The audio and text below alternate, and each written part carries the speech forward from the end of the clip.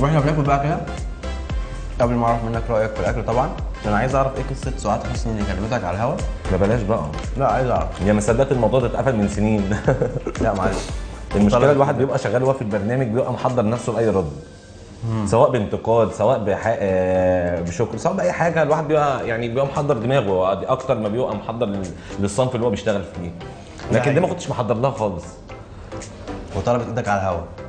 آه للأسف أيوه.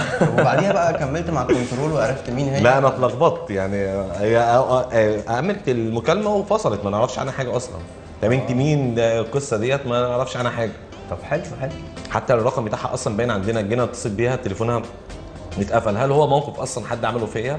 على الهوا بيلبسني طبعا في الحيطة. يوم طبعا الحمد لله يعني ما عرفناش نبات في البيت والدنيا جميلة. بجد والله.